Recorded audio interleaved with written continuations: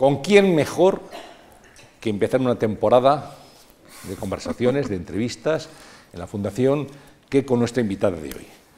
Periodista, escritora, y hay una característica que yo quisiera señalar. No es eh, habitual que todas las personas reconocidas y admiradas sean también queridas.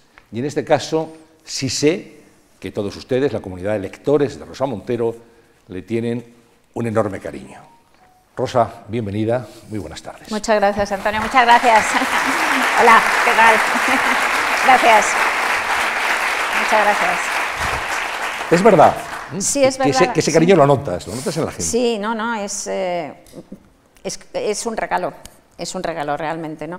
Y, además eh, es, maravilloso, algo haré, supongo, pero, pero de todas maneras, sobre todo, eh, el cariño es vuestra buena condición, porque yo, yo, hay una cosa y una anécdota que me baja mucho la cresta, ¿no? Para, me ha bajado mucho la cresta para no creerme la, maravilla, ¿no? Y es que eh, más de una vez me ha pasado, por ejemplo, en las ferias del libro, que llega un lector o una lectora de estos estupendos, de estos maravillosos. Entonces llega y te dice, ay Rosa, es que me gustas muchísimo, es que escribes tan bien, es que eres tan auténtica, es que eres tan, tan comprometida, es que eres tan, yo qué sé, bueno, media hora así, ¿no? Lector, que claro, te enternece, te emociona, ¿no? Y al cabo de esa media hora te dice, bueno, total, que tú y fulanito de tal sois mis, mis, escritores preferidos. Y a ti fulanito de tal te parece un monstruo, un tipo que escribe horriblemente mal, un, un, tipo, bueno, de verdadero nada, mentiroso, inmoral. Entonces, no es que ese lector o esa lectora sean idiotas, en absoluto, en absoluto. Lo que pasa es que cuando y lo hacemos todos, ¿no? Cuando queremos o nos relacionamos con alguien con quien no estamos mm, conviviendo, ¿no? Con alguien así, puede ser un escritor o un actor o quien sea, ¿no? Pues estamos proyectando lo que nosotros tenemos dentro, ¿no? Entonces, en ese, ese cariño que me dais, pues yo sé que es porque, porque soy buena gente, no ya es solo porque yo me lo merezca, ¿no? Es porque tenéis ese cariño para dar. Sí, lectores además fieles que he tenido acompañando y que se sientan reconocidos tanto en los artículos como en los libros y que han ido a lo largo de su vida, eh, pues como le pasa a tantos artistas, ¿no? Al final, bueno, puede pasar a, cantantes o a, cineastas que has ido viendo sus películas, escuchando sus discos, leyendo los libros, en este caso los artículos, y son etapas de tu vida que reconoces justamente en determinados títulos. Sí, claro, pero de todas maneras vuelvo a insistir que es que... Eh, el, lector aporta, por ejemplo, si ese lector que te dice fulano de tal y tú, y a ti te parece, es más, lo sabes porque le conoces, que es un inmoral y que es un mentiroso, pues ese lector le está dando, insisto, no es idiota, le está dando su propia veracidad y su propia, eh, su propia integridad a ese, a ese tipo. Entonces, eh, no es ya, insisto de verdad, que no es tanto mérito mío, lo digo completamente en serio, algo, algo habrá, pero mm, por lo menos la mitad es del otro, del que mira. Como el éxito, el éxito no es un lugar, el éxito no es tuyo, el éxito no es, no es una, eh, un objeto que poseas, es una, es una característica de la mirada de los otros. ¿no? Te lo conceden los otros. Te lo conceden y te lo, tal como te lo conceden, te lo quitan. Es, es, una chispa de luz de los ojos que te miran. ¿no? Tú llegas a la literatura, a la novela, desde el periodismo. Eh, mm, sí y no, porque en realidad yo escribía ficción desde pequeña. Eh, como la mayoría de los escritores, de los novelistas, vamos. Yo empecé, mis primeros cuentos los escribí con cinco años y eran de ratitas que hablaban. O sea que eh, con dibujitos de ratitas y tal, mi madre lo fechó y tal. Y, mm, y, he escrito ficción siempre, toda la vida. Y de hecho, porque escribía, porque escribía cuentos y tal, pues me planteé hacer periodismo, porque periodismo siempre escrito y para el periódico, porque me gustaba escribir, porque tenía esa facilidad, ¿no? Tampoco lo tenía tan claro, también hacía psicología, estudié psicología hasta cuarto en la Complutense, un cuarto lo dejé, porque pensaba que estaba loca, que es que es por lo pero para arreglarte tú o para arreglar a otros. Para arreglarme yo, claro. Porque, pero es por Era autoayuda. claro, pero es por lo que estudian psicología el 98% de los psicólogos, lo aseguro. Y no está nada mal, ¿eh? No, está nada mal porque eso implica como una empatía con tus pacientes, claro, ¿no? Eh, el otro 2% son hijos de psicólogos que lo tienen peor, yo creo. bueno, total. Entonces, yo estudié psicología para eso y cuando ya me di cuenta de por qué me daban esos ataques de angustia y tal, y que no era tan importante, pues lo dejé. Pero vamos, estudiaba, hacía teatro, hacía teatro que hice cinco años de teatro, estrené La Castañuela 70 con Tábano, que era como, fue como muy importante en, la, en los años finales del franquismo. ¿Estuviste en Tábano también? Estuve en Tábano, claro, sí, sí. Tábano. Sí, era como la mascota porque yo tenía 18 años y todos tenían como 25 o así, pero sí. Y estrenamos eso, Castañuela 70. Y luego era hippie también. Era totalmente, era de los cuatro hippies que había en Madrid entonces, que podría dar nombres y apellidos, os diré. Y, bueno, entonces también acaricié, pero sinceramente, la idea de, marcharme a dar la vuelta al mundo, de vivir on the road, ¿no? Y, lo hicieron dos amigos míos, un hombre y una mujer separados, y mm, al cabo de unos años mm, eh, murieron de sobredosis. O sea que no eres que era... A mí no, no, creo que me hubiera pasado eso porque, porque siempre he tenido como una lucecita de supervivencia muy clara en la cabeza pero vamos, lo mismo si me voy a dar la vuelta al mundo y tal, y a vivir aquí y allá, pues a lo mejor ahora podría ser eh, camarera en Canberra, por ejemplo. ¿no? Era la época... sería camarera que escribe, ¿eh? a lo mejor que no publica, pero que escribe seguro.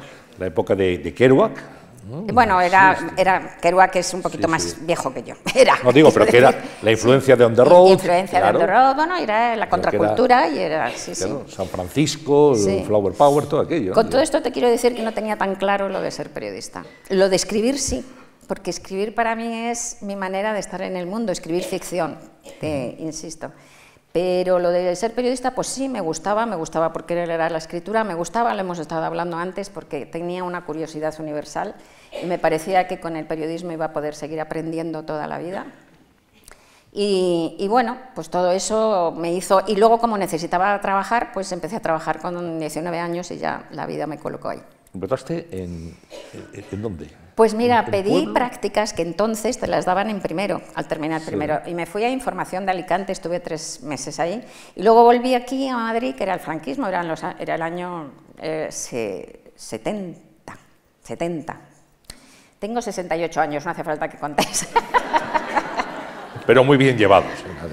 Pero 68, que son una barbaridad. Bueno, entonces, eh, volví aquí eh, en, el, en el 70 y tal, y claro, empecé a buscar trabajo con mis recortitos, porque me había hecho en verano, en los tres meses esos, me hice 150 reportajes o algo así, ¿no?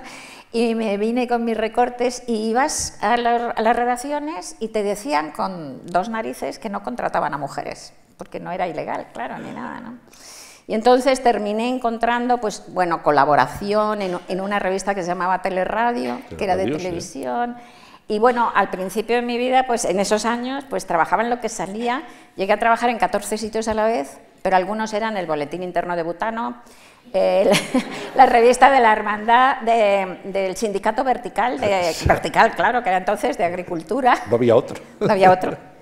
Eh, hablando del, del, escarabajo de la patata y del mildiu y cosas así, cosas que no tenía ni idea, claro, como comprendéis. Así que, y así empecé de esa manera Sí, absurda, poco a poco. Es verdad que había pocas mujeres entonces en el periodismo, muy pocas. Fuimos la primera generación que entraba un montón, de, que entramos en la escuela, era, yo era de la escuela de periodismo y, y, en la escuela, en aquel año, desde luego no éramos mayoría todavía, pero había un montón. Estaba Carmen Chumarín, estaba Sol Gallego, Sol Gallego la directora del la país. directora del país ahora, que es una crack absoluta, una tía maravillosa.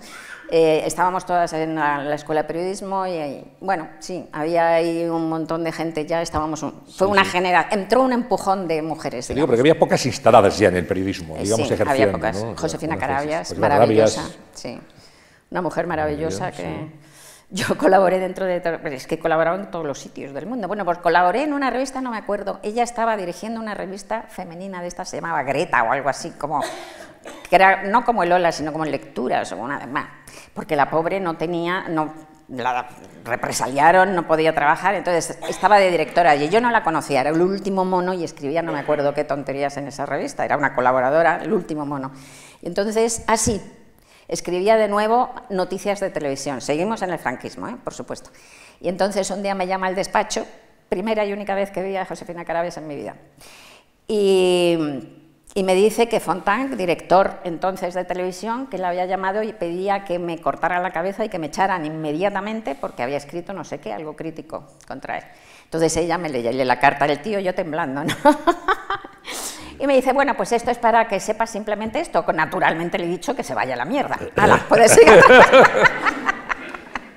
no la volví a ver más. Única vez que la vi, pero dije, qué tía. Franquismo, este tipo era muy importante dentro del régimen y la tía ahí ah, defendiendo a una a una nada, a una pequeñaja que, que, que escribía Y osaba, osaba salirse de, del canon establecido. Exacto, sí. Eh, ¿Estuviste en Pueblo también? ¿Colaboraste en Pueblo? Estuve eh, colaborando en Pueblo también, eso fue de los primeros, primeros... Lo de Pueblo era terrible. ¿Pueblo de Emilio Romero? El pueblo de Emilio Romero, claro, sí, y era terrorífico porque además también hacía la cosa de televisión. De Empecé televisión, en Teleradio y me, no, me encasillaron ahí, los primeros son los primeros trabajos estos, pues me- durante dos años, un año, dos años me encasillaron ahí, hasta que hice esto que te voy a contar. Entonces, eh, y yo tenía, insisto, recuerdo de 19 años. Entonces llegas ahí a Pueblo, ibas a la redacción y era una cosa de un machismo demoledor, un machismo demoledor. Entonces estaba lleno de señores con corbatas en erección, porque la llevaban así con un, con un prendedor aquí, ¿no? Hacían así la corbata. ¿no? Y llegaban y entonces todos se lanzaban sobre ti a hablar, a ver, para intentar deducir si eras virgen o no. Si pensaban que no eras virgen, entonces se lanzaban.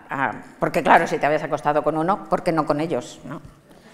Con cualquiera. Y si pensaban que eras virgen, porque yo además era súper pequeñita y con una pinta muy pequeña, ¿no? Siempre tenía una pinta más joven, pues entonces eran de un paternalismo espeluznante, o sea, espeluznante, de, de- de decirte dónde poner los puntos y las comas, vamos, era una...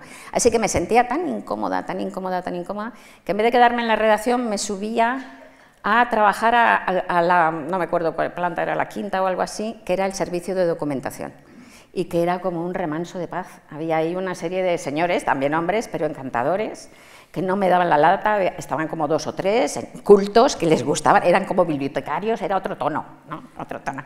Entonces yo me quedaba ahí y escribía en una maquinita que tenían ahí y era hasta que, mm, hasta que me marché, porque estaba harta de hacer, de hacer televisión y, de, y del pueblo y de tal, sí.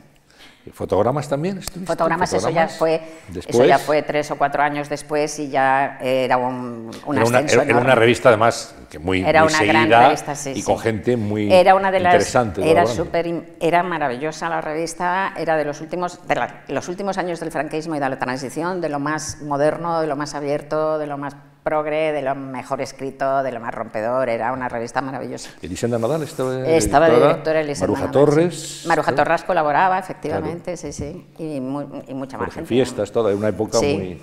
Una escuela de periodismo también. Una ¿no? escuela de periodismo, sí, a mí me encantó colaborar con fotogramas, es una etapa de mi vida que fue eso pues, en el 75, el 76. Luego ya en el 77 empecé acá en el país y ya lo, lo dejé. ¿Cómo llegas a- al país? Que era entonces el, el periódico, sin duda. Sí, bueno, yo seguía siendo colaboradora, he sido colaboradora y lo sigo siendo ahora mismo toda mi vida, menos cinco años que estuve en el país, ¿no? Eh, fija. Eh, pues em, un el, el- el país sacó el suplemento dominical, ¿no? El lo colorín, sacó- así El colorín, llamado. sí, que lo sacó el país semanal, que lo sacó como varios meses después de, de sacar el periódico, y lo llevaba eh, un periodista que se llama Julio Alonso, y el subdirector del colorín era Félix Bayón, un periodista que se, ha- se han, se han muerto los dos, ¿no? Félix Bayón, muy, bastante joven. Y Félix Bayón, yo había trabajado con él en otras revistas también de la transición, que eran también modernas y progres dentro de lo que se podía. como ¿Posible? posible, Posible. efectivamente. Y para, y para entonces, para cuando salió El País, yo ya era una entrevistadora bastante, muy conocida, diría yo, en las, en las redacciones. Me habían dado un premio del Círculo de Escritores Cinematográficos y tal, por mis entrevistas en fotogramas y tal. Y con Félix Bayón había hecho ya pues, muchas entrevistas para Posible. Y entonces, de repente, recibo una llamada de Félix, que era un encanto, y me dice, oye, que nada, cerramos mañana, ¿verdad? Esto eran como las, las dos de la tarde. Cerramos mañana eh, el suplemento dominical y se nos ha caído la entrevista. Tenemos una entrevista principal de personalidad de no sé cuántas páginas, un montón, y se nos ha caído la entrevista y necesitamos una entrevista. ¿Nos puedes hacer una entrevista de no sé cuántas páginas de aquí para mañana? Y yo dije, pues sí, pero ¿a quién? Y dice, a quien sea. Sea, Quien se deje. a quien se deje, ¿no? Y Entonces, nuevamente como colaboradora, pues efectivamente yo dije que sí, decía que sí a todo. Y, y llamé a Ana Belén, a la cual había hecho varias entrevistas, para, era, es de mi edad y tal, y la conocía por fotogramas, era una tía mamaja, le había hecho varias entrevistas para fotogramas y tal, y dije, oye, pasa esto, estás en Madrid, ¿me puedes recibir? Y dijo, sí, fue encantadora. Me fui por la tarde, le hice la entrevista, pasé la cinta y a las, dos de la a las doce y media del día siguiente tenían la entrevista y ahí empecé. Ese fue tu debut. Ese fue mi debut, sí. ¿Ya estuviste haciendo entrevistas durante oh, y Estuve haciendo mogollón de entrevistas, sí, muchísimas entrevistas durante años, claro. Hasta ahora ya, ya lo he dejado, porque me he cansado. La entrevista es un género periodístico, yo creo que de los más bonitos que hay. Es muy bonito, sí. ¿eh?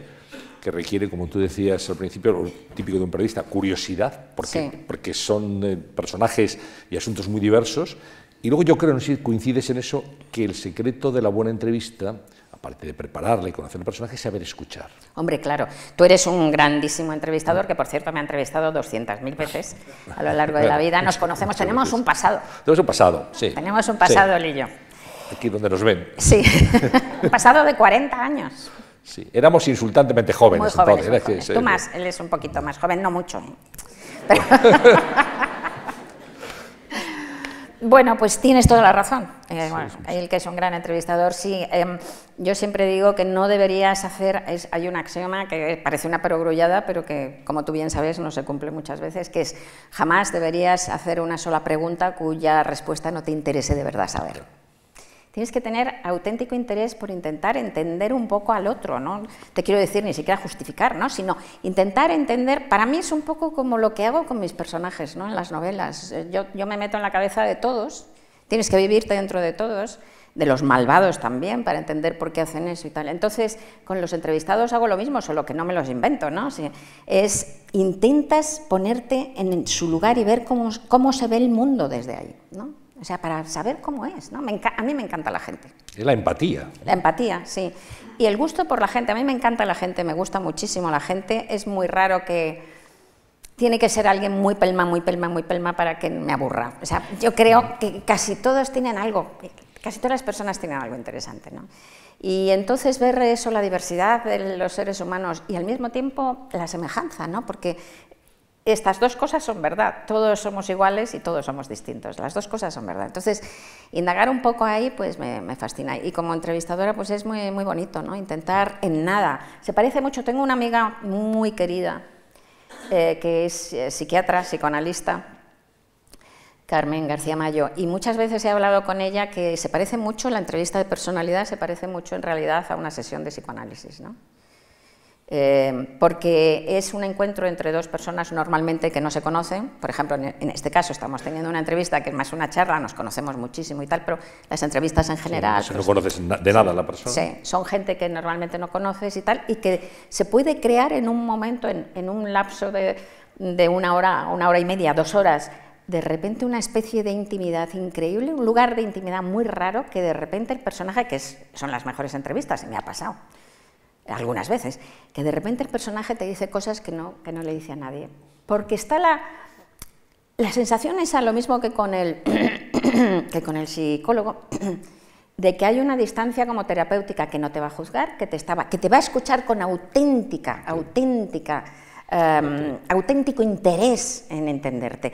Y si eres capaz de transmitir, porque lo sientes, ese auténtico interés al entrevistado, los entrevistados se abren, ¿cierto? Totalmente. Cierto. Porque todos queremos ser escuchados de esa manera. Ocurre que la entrevista es un género que se prepara, se prepara mucho, te documentas y luego al final tiene vida propia. Total. Hay, muchas porque la entrevista tienes que seguirla por el cauce que, que, presenta. Totalmente. no puedes ir pregunta, pregunta, pregunta. Entonces, el, el, el entrevistador, no pensaba saber de eso, pero al final termina siendo de una cuestión y que no estaba previsto. Hablar de algo y lo Exactamente. Y el entrevistado cuenta cosas que no pensaba contar. Y eso yo creo que cuando se produce la conexión. Sí, sí, Bueno, tú eh, tienes que pedirle a Ana Belén ese primer día, por favor, por favor, eh, que tengo que hacer una entrevista, y luego ya es al revés. Ya hay mucha gente que quiere ser entrevistada por Rosa Montero, porque tú ya alcanzas muchísima notoriedad en el país. Muchísima notoriedad. Bueno, el país es que realmente tuvo ese éxito increíble, el periódico El País, ¿no? tan rápido, y lanzó al estrellato, nos lanzó a una serie de personas que trabajábamos en el país muy jóvenes. Y nos pusimos de moda como, vamos, como la Coca-Cola. ¿De qué manera? Y al final, pues todo el mundo quería una entrevista en el país con Rosa Montero. Y tú creas un estilo de, de entrevista escrita muy particular. No solamente es pregunta-respuesta, que es lo que se llevaba casi entonces, es una transcripción, sino que tú cuentas el ambiente, y tú des comentarios, y es un estilo que tú aportas casi literaturizando la entrevista. ¿no? Sí, bueno, la, cuestión es que de eso me siento orgullosa, fíjate, Antonio. Cuando yo llegué al país y empecé a hacer estas entrevistas, pues había un libro de estilo de estos férreo y decía que las entrevistas tenían que ser obligatoriamente una entradilla y luego pregunta-respuesta, RPR y se acabó. Entonces yo ya la de Ana Belén me lo salté, eh, pero seguí y esa, esa como iban tan apurados pues salió. Pero ya en las siguientes tuve una lucha durante meses porque me las cambiaban, ¿no? Me las cambiaban, me las corregían y tal, y yo me indignaba y tal y ya al final conseguí que efectivamente admitieran, para mí, para otros, que ese tipo de entrevistas como de personalidad y tal y cual podían salirse de esa, de esa estructura que era absurda, porque realmente cada entrevista tiene, como tú muy bien sabes, tiene su forma también, ¿no? Hay formas y formas en las entrevistas. una entrevista en televisión, o una entrevista con la que estamos haciendo, la gente sí sabe cómo contestas, qué cara pones, cómo reaccionas, pero claro, es una entrevista de PRPR escrita, es imposible, por tanto, tú tenías que añadir eso. Tenías que darle ese contexto a la entrevista. Evidentemente. Y luego, además, estas entrevistas de personalidad son claramente subjetivas. ¿no? Eh, hay un equívoco, como tú bien sabes, con lo que la gente dice que a veces hay profesores de las universidades de periodismo que, que se equivocan al decirlo, ¿no? Hablan de la objetividad de la prensa. La prensa no puede ser objetiva, no hay nada objetivo en el mundo, ¿no? Pero vamos, es que en, en un periódico, por ejemplo, tú publicas simplemente unos datos eh, estadísticos, ¿no? bueno, las oleadas de, medios, ¿no? de, lo que salen en los periódicos. Y cada periódico publica, son los mismos datos, pero cada periódico publica otra cosa, ¿no? Porque además, aunque sean, pongas exactamente los mismos, los puedes poner en página impar o, en, o, par, que se ven más o menos, por arriba, que se ve más, por abajo, eh, con un titular determinado o con otro, acompañado de otra noticia que la realza o que la, hace más, más pequeña. O sea que siempre hay una manipulación y una subjetividad en la elección. Lo que pasa, lo que tenemos que evitar es la manipulación dolosa, interesada, obviamente, el mentir, el engañar para, tus propios intereses, eso, eso evidentemente. Pero bueno, en estas eh, entrevistas de personalidad, pues lo que está claro es que el lector lo que, lo que está viendo con las mías y con las de Sol Alameda y con las de cualquier otra persona que ha hecho este tipo de entrevistas, lo que está viendo es la traducción que ese periodista está haciendo de ese personaje que, tienes que intentar que sea, insisto, lo menos manipuladora posible. Por ejemplo, una cosa que hay que tener un cuidado absolutamente exquisito, porque como siempre hay que acortarlas y siempre hay que manipular de alguna manera la contestación, porque es muy curioso. En las entrevistas escritas, si tú haces simplemente la transcripción de la cinta, lo que se lee es una tontería, está llena de repeticiones, no es lo que tú has sentido al hacer la entrevista, como, como oyente. Entonces tienes que manipularlo para recrear lo que tú has sentido al hacer la entrevista. ¿no? Pero, claro, no puedes alterar mm, verdaderamente ni una precisión del entrevistado. O sea, si el entrevistado dice una idea, pero le pone una pequeña mácula a esa idea y una pequeña precisión, la tienes que respetar. Entonces, en ese sentido, pues hay que ser muy veraz, muy rigurosa, no hacer cosas que, como tú bien sabes, hacen muchos periodistas. Por ejemplo, si el entrevistado te hace una contestación y tú en ese momento no se te ocurre nada que decir, pero cuando estás oyendo la transcripción se te ocurre algo ingenioso, no lo pongas, porque no lo has dicho. Pero verdad que hay Para gente, quedar que, bien, sí, sí, gente que lo hace, pero así. Dice que quedé yo muy bien, si me hubiera ocurrido esto. Se me hubiera ocurrido esto y lo ponen, pero bueno, con el, con el mayor papo, no puedes hacer eso. ¿no? Y luego también que, yo intentaba realmente mm, enfriar mis emociones. ¿no? Bueno, intentaba dos cosas. Primera, ir lo más limpia posible, con mm, los menos prejuicios posibles, que es muy difícil, por no decir imposible. Todos tenemos prejuicios, tenemos una idea previa de los personajes, pero yo intentaba ir abierta, ¿no? lo más abierta posible. Y luego intentaba enfriar las emociones, es decir, que se me había caído muy mal, muy mal, pues intentaba mm, rescatar un poco al personaje, porque podíamos haber tenido o él o ella o yo un mal día, ¿no? Y si me había caído muy bien, intentaba rebajar también ese embeleso porque me podía haber vendido una burra perfectamente, ¿no? Entonces, pues bueno, con esas cautelas, pues más o menos haces tu visión del personaje, pero intentas que no sea pues eh, algo, porque tiene mucho poder el, periodista a la hora, tiene la palabra final para manipular, para engañar, para mentir. Por ejemplo, todos temen el titular, ¿no? En la prensa escrita, a ver qué titular pones, porque eso es fundamental. Que no lo pones tú normalmente, muchas veces. Tus, redactores jefes. Lo ponen los redactores jefes, el último que está, sí. Pero es así. Eh, eres poco mitómana. Pues yo creo que lo cuando eres, pues yo creo que por temperamento en primer lugar, pero también cuando eres periodista como tú y tan joven como empecé yo y tú y hemos visto a tanta gente y les ves, pues, pues un poco ves que y además es porque me gusta la gente. Yo creo que también va unido. Me gusta la gente en toda su diversidad, en toda su oscuridad. Reconocer, no entiendo esa necesidad que tiene la gente de santos impolutos, ¿no? La pureza me da mucho miedo. Los puros y los que se creen puros y los que buscan personajes puros eh, están muy cerca del dogmatismo, por lo general. Rozan demasiado el dogmatismo. Entonces, y a mí es uno de los temas, de, por ejemplo, de mis novelas, me, me horroriza el fanatismo, me horroriza el dogmatismo. Creo que estamos obligados a pensar y a buscar todos los matices de la vida que son matices del gris. Llevo aquí tatuado, lo último que me he tatuado, tengo varios tatuajes. Lo último que me tatué hace año y medio, pues es, aparte de la, de la fórmula de la relatividad, sapere aude, Atrévete a pensar. Atrévete a pensar, sí señor, frase eh, hecha famosa por Kant, ¿no? que es una maravilla, me encanta. Atrévete a pensar, atrevámonos a pensar aunque nos equivoquemos. Bueno, seguro que nos equivocamos. O sea, es que la equivocación es, va de suá, por supuesto, pero atrévete a pensar. ¿Te gustan los tatuajes? ¿Tú qué crees? Es que no, ahora ya, voy, ya voy viendo que, en fin. Pues sí, yo- cuando yo era hippie ya se llevaban Sí, los sí. tatuajes, pero y a mí siempre me han encantado. Pero no me atreví a ponérmelos entonces porque yo soy también bastante claustrofóbica y pensaba, bueno, entonces no se podían borrar. Ahora sí, aunque duelen mucho y tal, parece ser. Pero, y dije, "Jo, toda la vida con el tatuaje me voy a hartar. Claro. Entonces no me atreví a ponérmelo. Siempre mismo. Pero cuando tenía ya cuarenta y tantos, cerca de los cincuenta, dije, pues ahora va a ser que sí, porque ya por mucho que viva ya no me va a dar tiempo a arrepentirme, ¿no? Es una forma queda- de verlo. Me queda poco. Entonces me hice este, este el primero que es de hace 20 años, la salamandra.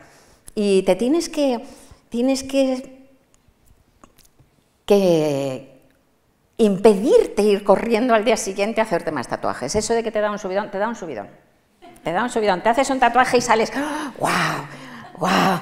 Y yo creo, lo he puesto en algún libro mío, lo he contado, estoy, vamos, estoy convencida de que es esto, ¿no? Tenemos, los seres humanos tenemos una relación muy difícil con el cuerpo, con nuestro propio cuerpo, ¿no?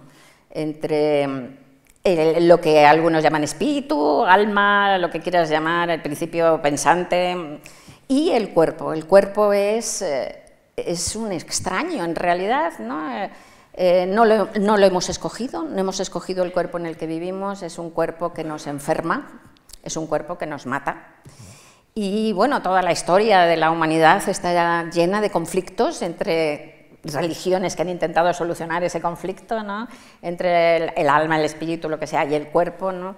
o que lo han sublimado y que, que, que- que magnifican el sexo, o que, o que al contrario usan el cilicio, que hay una relación muy, muy complicada ahí. Entonces, tú llegas y te haces un tatuaje y es una sensación. Es como decir, mira, cuerpo asqueroso, que me, que me enfermas y que me vas a matar. Ahora te fastidias porque vas a tener esta salamandra que la he decidido yo hasta que te mueras, ¿no? Entonces es, de verdad, es, un- es una sensación maravillosa. Recomiendo que tatuéis a todos. Está muy bien. Ahora a la salida ponemos ahí un puestecito de, de tatuaje que para el que se anime. Oye, qué, qué- qué- qué cosa tan moderna. En la Fundación Juan March, un puesto de tatuaje. Claro, claro, lo ponemos ahora ¿eh? sobre la marcha. Yo creo que sí. Eh, te iba a preguntar, tú decías, claro, yo llego ya a una edad, cerca de los 50 años, y digo, ahora me tatúo porque ya no me arrepiento. Y Sí. quería llegar a algo que está muy presente en toda tu literatura, que es el paso del tiempo. Ah, sí, sí, sí. Eh, sí, tu sí, concepción del tiempo, el paso del tiempo, la relación con la muerte también. Totalmente. Pero, pero eso mm, es, es- no sé si es una constante, pero sí es un tema que está No, muy no. presente. O- o sea, si yo creo que toda la literatura eh, en general y la, desde luego la literatura del siglo XX, perdón, me voy a sonar porque creo que me estoy agarrando un constipado y me se me está cayendo el moquillo, ¿no? Estamos en otoño y todo el mundo se hace cargo. de- pasa nada.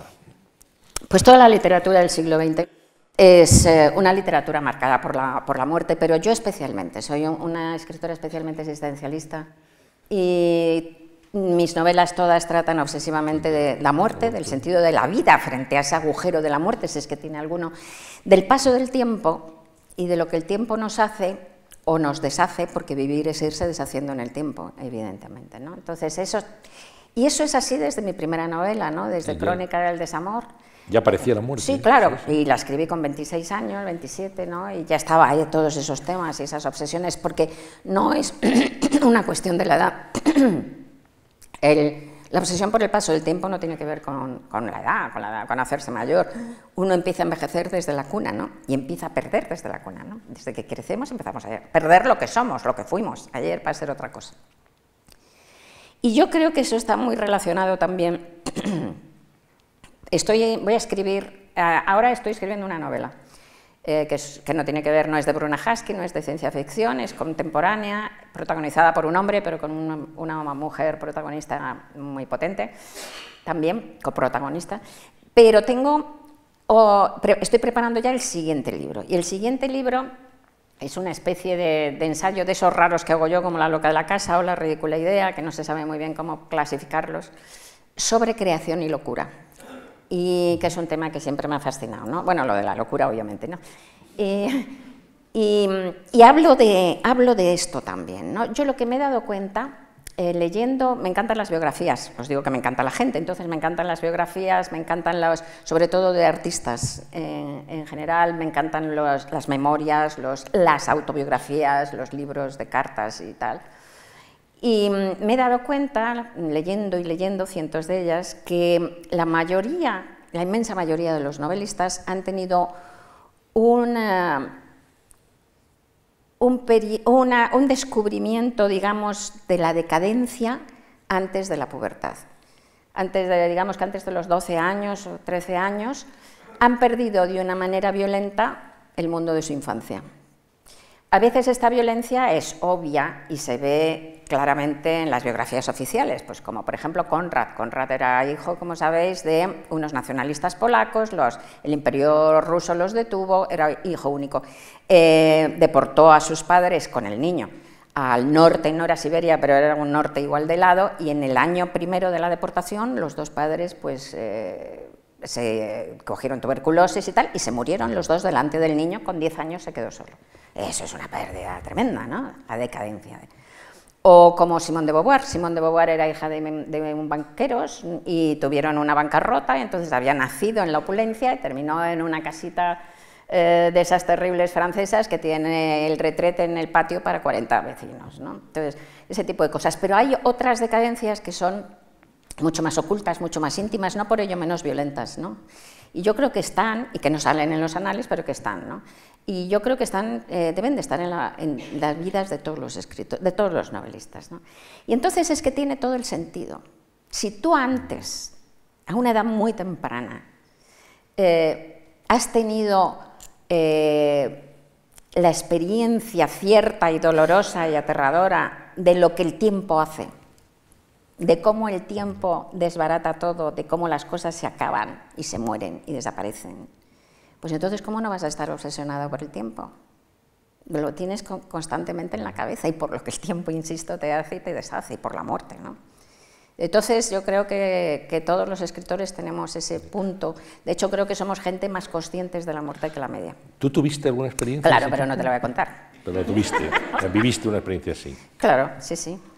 El hecho, están preguntando mucho en las entrevistas por tu padre, que fue banderillero, el hecho de que tu padre estuviera expuesto, como cualquier eh, eh, mm, persona que, ¿eso, te marcó o no? Bueno, sí, sí, sí, seguro que yo he estado tres veces psicoanalizándome y seguro que parte de eso es por eso, por mi padre, pero, pero no, no, no, mm. no en esto que te estoy diciendo, no tiene que ver con esto directamente. Eh, mi padre se retiró cuando yo tenía cinco años. Cinco años. Entonces yo me recuerdo Me recuerdo cuando mi padre toreaba de pequeño, pues vivíamos en Reina Victoria, abajo de Reina Victoria, en Madrid, y entonces eh, en aquella época los toreros se vestían en su casa y venía el gran coche de los toreros, que era un pato de esos negros enormes, a recogerlos por las casas y salían vestidos de toreros. Y eh, entonces mi padre, no teníamos agua caliente en mi casa, entonces mi padre se subía a vestir, a bañar y a vestir en casa de mi abuela, su madre que vivía en Reina Victoria, más arriba. Entonces me recuerdo yendo con mi padre, con mi madre, eh, a casa de la abuela, en donde era un gineceo, porque estaba mi abuela, estaba mm, una tía viuda y una tía soltera. Y debía estar mi hermano también mayor, pero no lo recuerdo, lo he borrado de la escena, éramos todas mujeres. ¿no? Entonces, pues allí mi padre entraba en el cuarto de baño vestido de padre y luego salía envuelto en una nube de vapor y vestido de superhéroe, ¿no? todo lleno de brillos. era alucinante, alucinante, ¿no? Y, y a mí me habían enseñado tú sabes que las últimas palabras que tienes que decir, la despedida que tienes, porque son muy, muy supersticiosos los toreros, como todos los que se juegan la vida, mm, eh, eh, las últimas palabras que tienes que decirle como despedida a un torero que se va a, torear es suerte maestro. Entonces, una de esas leyendas familiares que hay en todas las casas, pues dice que las primeras palabras que me enseñó mi madre a decir fue suerte papá, para despedirla. Ni, agua, ni pata, ni no, sino suerte papá. Total, que entonces, pues me acuerdo, ya salía con todos los brillos, y entonces nos íbamos todos a la puerta a despedirles, se iba vestido de torero por las escaleras, eh, y entonces empezábamos a rezar el rosario toda la tarde. A rezar el rosario, dale que te pego, que era un aburrimiento inconmensurable. Y, y además, en aquella época, bueno, es que es increíble, ¿verdad? Porque apenas 15 años después o menos, yo era hippie, iba descalza por las calles y pintaba y me tomaba la píldora y iba pintada con, clandestina, que se compraba clandestinamente me pintaba la cara con flores, pero esto que os veo era solo lo que cambió España, ¿no? Tampoco. En aquella época además había unas capillitas que llevaba un santero. ¿Eh? Por las casas. Por las casas, unas capillitas de madera barata, horrorosas. que, se abrían. Que se abrían y que tenían santos dentro, la Virgen o santos y tal. Y que se ponían, las más modernas tenían luz eléctrica, pero lo suyo era poner lamparillas de aceite. Y entonces cada vez que mi, padre toreaba, la abuela pedía al santero que le trajera la capillita. Entonces teníamos nuestra capillita y como era verano y tal, y ya sabéis el calor que hace Madrid, las, persianas estaban bastante cerradas, entonces esa penumbra, la capillita, las, lamparitas encendidas y el rosario dale que te pego toda la tarde. Ya cuando caía la tarde llegaba el momento súper tecnológico. Y era que se encendía una radio de baquelita que era rosa y crema como un helado de fresa. Sí, y entonces con esos ruidos, ¿verdad? De, que eso ya las nuevas generaciones no han conocido esos ruidos de la interferencia. ¿no? Entonces se, se, escuchaba el parte de la corrida, entonces decían que no había habido ninguna acogida ni nada, entonces, ven, menos mal. Entonces se rezaba algo cortito, también en acción de gracias, y ahí venía la parte que más me gustaba, como ya había caído la tarde, se levantaba la persiana, y era un primer piso, y entonces me dejaban sentarme en el alféizar de la ventana con las piernas por fuera y esperaba que llegara el, coche de los toreros. ¿no? Y por fin llegaba y salía mi padre con su capote, saludaba y tal. Y, yo, y lo más tremendo es que traía todos los cañones. Sabéis que las camisas de los toreros pues llevan aquí todos cañones rizados ¿no? y tal, y almidonados. Todos los cañones de la pechera negros y tiesos de la sangre del pobre toro. Yo soy completamente animalista, detesto los toros Creo que de aquí a 30 años se habrá acabado la mal llamada fiesta nacional, afortunadamente. Mi padre me respetaba eso, yo le respeté a él también. Es eh, una experiencia también todo aquello, ¿no? Sí. sí, Pero vamos, sí, eh, no, la cosa esa de la decadencia y tal no viene por ahí. Quería, volviendo a, las, a, las, entrevistas a los personajes, por cerrar esa etapa, Rosa, eh, citar algunos, algunas de las personajes que, que, a ti te, marcaron bien, eh, más para bien o para mal, ¿no? Por ejemplo, eh, eh, Paul McCartney te hizo especial ilusión entrevistar, ¿no? Sí, porque cuando Alex Beatle. Sí, porque cuando yo tenía 12 años, pues estaba enamoradísima de él, enamoradísima de Paul McCartney, me vi como 14 veces la película Hardest Night y me encantaba. Y entonces como cuando McCartney tenía como 50 y yo como 40 o así, pues le fui a entrevistar. Y a su granja en Saxes y estaba grabando un disco, porque tenía un estudio de grabación en la granja. Todavía estaba viva su mujer, Linda Eastman. Era la época de Wings. Sí, Exacto. Y entonces fue un día maravilloso. Estuvimos el día entero y solamente estaba un equipo de un programa norteamericano y el fotógrafo del país y yo. estaban. Estuvimos todo el día en el estudio viéndole grabar con unos músicos formidables. Eh, Linda Eastman venía y nos traía té y, y sandwichitos. Bueno, increíble. Y el tío que había envejecido, pero bueno, es que Paul McCartney, el pobre, no ha envejecido, sino que se ha derretido. es verdad. Estaba todo Ahora está peor porque cuando tuvo a esa novia tan horrible, malvada, se hizo la cirugía estética y eso es peor. pero, pero bueno. el caso es que eh, estaba muy derretido y muy hecho polvo, pero estaba vivísimo y maravilloso. Luego estuvimos hablando como dos horas, me pareció un tío, un tío que había vivido todo lo que él había vivido tan arrasador, ese éxito tan arrasador, tan joven, siendo un chaval de Liverpool y tal. Y cómo se había mantenido persona, ¿no? Eh, me encantó, me pareció... Fijaos lo que hizo McCartney. Eh, McCartney cuando se rompieron los Beatles, estaban todos, claro, aparte que era la época de la psicodelia, que yo también la, he vivido, entonces todo el mundo, ¿os acordáis de eso, no? Si te acuerdas de los 70 es que no los viviste, pues ellos estaban hasta aquí, ¿no? De todo, absolutamente de todo. Y entonces, eh, bueno, pues fue, estaban enloquecidos verdaderamente, hechos polvo con ese éxito, tal. Y cuando se rompieron, rompieron los Beatles y él estaba, ya estaba empezando con Linda Eastman, se fueron, este hombre que es era entonces y es millonarísimo, se fueron a una granja de Escocia, me parece que era de Escocia, de dos habitaciones nada más, y que no tenía agua corriente, no me acuerdo si no tenía luz o no tenía agua corriente, no me acuerdo cuál de las dos cosas. Y allí vivieron cinco años y tuvieron cuatro hijos, que vivían todos en una de las habitaciones y ellos en la otra, para tocar tierra, para volver a aprender a vivir. Y cuando ya aprendieron, se fueron a un casoplón magnífico en Sussex, claro, ¿no? como corresponde. Como corresponde, pero quiero decir que es que es una cura, o sea, hay que volver a tocar tierra, ¿no? Me pareció, es un tío espléndido, un tío espléndido. Personajes positivos como Paul McCartney y alguna entrevista especialmente complicada como la que le hiciste a Yasser Arafat. Sí, bueno, terrible. Yo era muy pro-Palestina y lo, y lo soy y tal, pero pero entonces todavía más y tal, y además sobre todo me parecía que Yasir Arafat era un personajazo increíble, porque era el hombre, era antes de que volviera a los territorios ocupados, ¿no? y mm, era el hombre que más eh, intentos de asesinato había tenido, en el mundo, ¿no? y de hecho al final le han conseguido matar, porque parece claro que lo envenenaron. ¿no?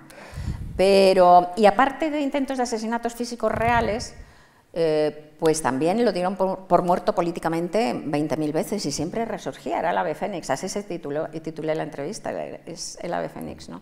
Era un hombre que no daba la mano por miedo a que le envenenaran, con razón, porque efectivamente el Mossad envenenaba así, ¿no? Y tal, o sea que...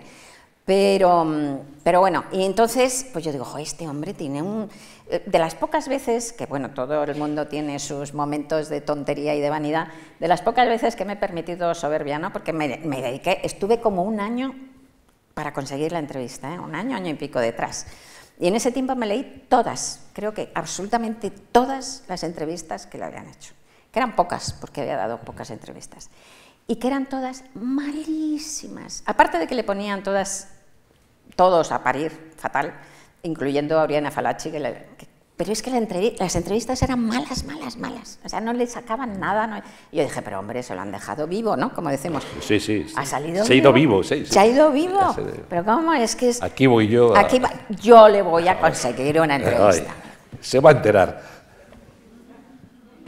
Pues nada, llegamos, por fin me dieron la entrevista, estaba en Túnez y nos fuimos. Eh, ¿Quién era? Era... Mm, eh, era Pablo, sí, el, el, fotógrafo. Bueno, nos fuimos el fotógrafo y yo a Túnez y nos pusimos en stand-by, es decir, en un hotel de Túnez, porque él eh, se, pasó 20 años que no dormía eh, ninguna noche en, el mismo lugar.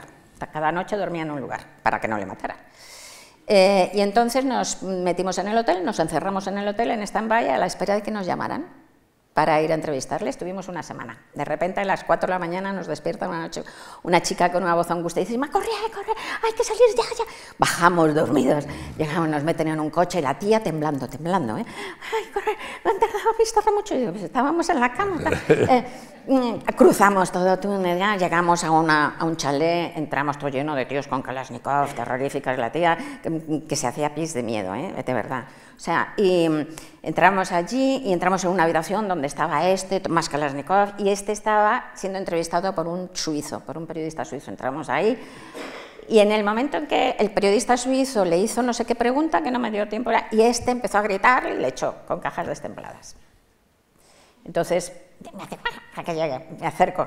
Y dice, bueno, tiene dos minutos. Yo digo, pues no, porque necesito, eh, eh, llevo un año detrás y necesito, es para una entrevista larga el suplemento, necesito muchísimo, mucho más tiempo y tal. Bueno, otro día. volvemos a ir al, hotel otra vez. Al hotel, otra vez nos quedamos en stand-by, dos días más tarde repetición de la jugada. Volvemos, llegamos a, otra, a otro sitio, todo lo mismo igual. Y claro, tú te dabas cuenta, ahí estábamos solos, pero tú te dabas cuenta además de, la mecánica que generaba esto. Este hombre estaba rodeado solamente de fanáticos con Kalashnikov, que desde luego nadie le debía llevar la contraria en nada, que, le, que eran como idolatraban, ¿no? Y la gente, como esta pobre chica que trabajaba con él, estaban aterrados, aterrados de él, pero aterrados, como yo no he visto, pavor, ¿no? Entonces ya llego y tal, bueno, aparte de todos los fingimientos, por ejemplo, traje de faena, por supuesto, traje de faena, pero planchado, recién planchado, puesto con raya y tal y cual. Y tal. Entonces, eh, entramos, eh, voy a entrar, veo por, por la bisagra, ¿no? Que, que dice que, que pase, y entonces hace como que está, cuando nos hacen pasar, veo por la bisagra que se pone como si estuviera estudiando algo, como si no se diera cuenta que estoy entrando. Entro, nos deja allí de pie diez minutos como estudiando. ¡Ah! Levanta la cabeza, ya nos ve y tal. Empezamos a hacer la entrevista, le hago una pregunta, me contesta un, una soflama, un eslogan. Le hago otra pregunta, me contesta otro eslogan. Le vuelvo a repreguntar y tal. A la quinta repregunta me echó, igual que al suizo. Imposible, imposible, imposible absolutamente hablar con él. Y un tío con una, tú le veías con una violencia, con una capacidad de violencia que te da, yo la sensación que tuve, que no la he tenido con nadie más en mi vida, y he hecho dos mil entrevistas, he calculado, la sensación que tuve es que estaba con uno de los grandes malvados de la historia. ¿no? O sea, como si hubiera entrevistado a un Stalin o una gente así, ¿no? un tipo terrible. Dos mil entrevistas, así, digamos, eh, grosso modo. Eh, y un día dejar las entrevistas, ya no te, no te llama la atención el hacer entrevistas, ya no te seduce. No, es que he hecho muchísimas y, y, se lleva, tú bien lo sabes, un trabajo y un tiempo brutal. Entonces, primero te tienes que estudiar al personaje como si fueras a hacer un máster sobre el personaje, ¿no? Que, que es, te lo estudias y te lo tienes que estudiar de verdad para tenerlo aquí en la punta de la cabeza, para que si te dice, no, yo nunca he militado en ningún partido, digas, ¡pling! la ficha. No, señor, estuve usted dos meses en el 56, esto no lo puedes buscar, lo tienes que tener aquí. Entonces, y, todo ese estudio y tal. Luego eh, ir a, no sé qué, viajar, hacerla, hacer la entrevista, luego volver a hacer la transcripción, que es un peñazo. Es lo más aburrido, pero absolutamente necesario. No le puedes dar la transcripción a otro porque en la transcripción ves cosas que no habías visto, percibes, percibes cosas siempre en la transcripción, pero que son horas y horas y horas de pasar la cinta. Luego escribir la entrevista y tal. Muchísimo tiempo de mi vida ya lo he hecho, ya lo sé, no quiero más. Hay cosas que, mm, que, no quería dejar de comentar contigo. Hablabas antes, al principio, que habéis hecho teatro. Eh, ¿Qué te ha aportado el teatro, en, tu, vida profesional? No, en mi vida profesional nada, pero en la, mi vida vital tremendo. Aparte de que yo hacía teatro por eso, ¿eh? porque eran los grupos, eran grupos de teatro independiente que vivían en comuna y eran los más modernos y los más cachondos que había en, el, en los últimos años del franquismo. Era una opción vital, ¿no? Y luego el teatro tiene una cosa maravillosa, siempre me gusta mucho. Por ejemplo, yo llevo 30 años o así, que las presentaciones, seguro que aquí hay alguien que ha ido a alguna de ellas.